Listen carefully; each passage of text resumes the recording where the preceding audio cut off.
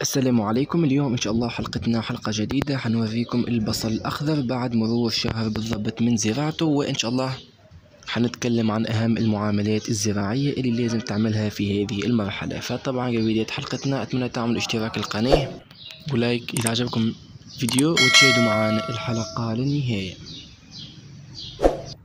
طبعا مثل ما تلاحظ أمامكم هذا نبات البصل اللي اتمينا زراعته من الشتلات طبعا بالنسبة للناس اللي ما شاهدتش الحلقة الزراعة إن شاء الله حتلاقيها في صندوق الوصف. وطبعا هذا شكل النبات بعد مرور شهر من الزراعة.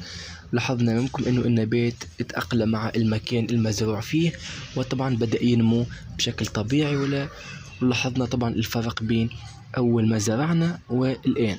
طبعا في أوراق جديدة بدأت تنمو وطبعا مثل ما تلاحظوا بدأ يكون ساق البصل بالشكل هذا.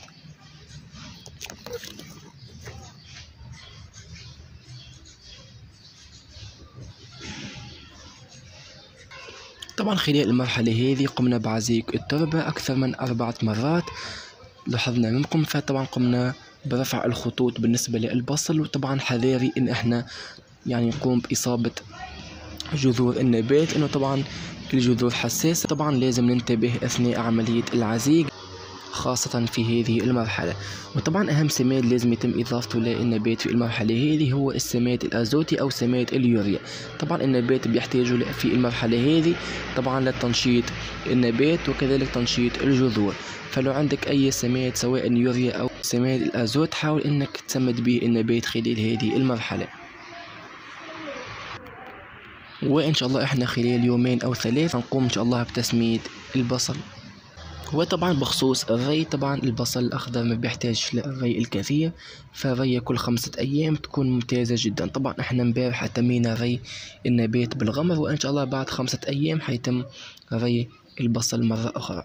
وطبعا بالنسبة للحشائش اللي بتنمو حاول إنك تقوم بإزالتها لأنها طبعا ممكن تأثر على النبات خاصة بعد ما ينمو لأنها طبعا حيصعب علينا إزالتها فبالتالي لازم إن تقوم بإزالتها بالشكل هذا. وبعدها إن شاء الله يتم عزيق التربة وإن شاء الله حنتابع معاكم البصل خطوة خطوة لغاية الحصاد. كل المعاملات الزراعية.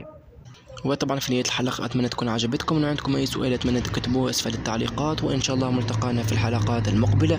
وشكرا والسلام عليكم ورحمة الله تعالى وبركاته.